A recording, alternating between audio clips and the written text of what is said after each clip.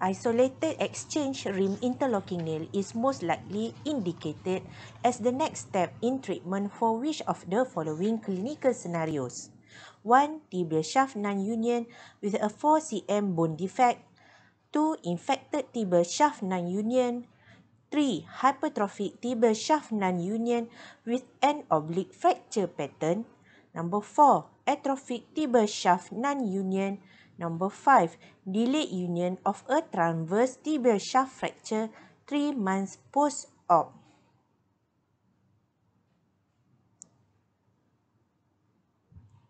And the answer is number three, hypertrophic tibial shaft non-union with an oblique fracture pattern.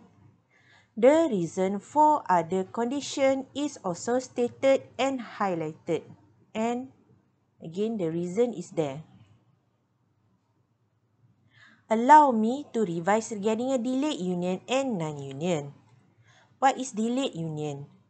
It is a slowed progression of callus formation and osseous healing in a fracture from 3 to 6 months post-injury. A non-union is a slowed or absent progression of callus formation and osseous healing in a fracture greater than 6 months post-injury. A non-union usually occur when there is an excess motion, fracture avascularity, fracture gapping, infection or a combination of these causes are present. The treatment of established non-union include electrostimulation, pulse low intensity ultrasound, compression plate fixation, augmentive plating that leave the nail in situ after primary nailing, exchange rim nailing, that where the answer is autogenous bone grafting, free fibular transfer, Ilizarov technique.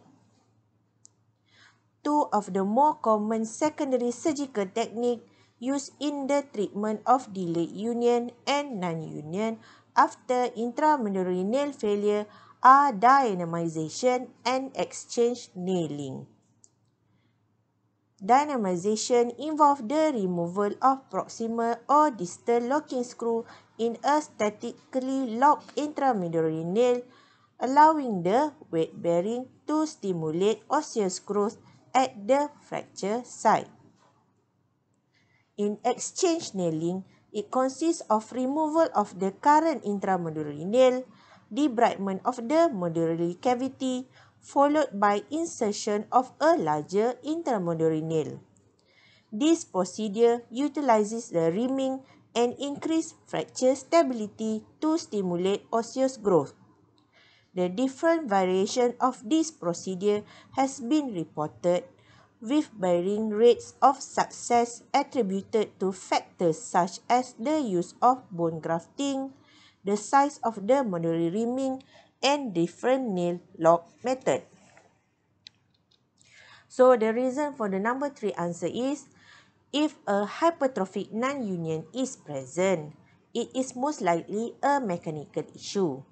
Hypertrophic non-union has approximately an 85% to 90% incidence of union with exchange rim nailing a non-union that has bone loss or appears atrophic will usually require improved mechanical stability as well as biological stimulation in the form either autograft or an osteoinductive substance like bone morphogenic protein or we call it a BMP.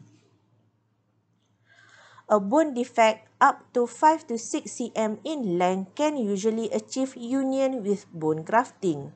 In the presence of infected non-union, the infection need to be addressed prior to the introduction of any revision hardware. If a patient does not show radiographic signs of tibial fracture union for 9 months and does not have progression towards healing for the 3 consecutive months, then revision surgery should be indicated. Templemay et al. looked at 71 tibial shaft fracture treated with non-locked or dynamically locked intramedullary nail and found the loss of alignment in 11% of the fracture that, that, that were not transverse in nature. They concluded that these nailing techniques should not be used in the treatment of spiral or oblique tibial shaft fracture. This explains why hypertrophic tibial shaft non-union occur with an oblique fracture pattern.